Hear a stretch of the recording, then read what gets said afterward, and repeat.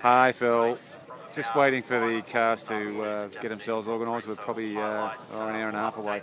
Just thought you'd like to see this. One of the boys from uh, Melbourne has come up with Paul. This is Zed over here. Uh, he had a nasty accident in his truck. Uh, with the result that he's got a prosthetic uh, piece there, and he thought, well, I'll take it off, give it a rest, and lean it up, this, uh, lean it up against this other bloke's bridge.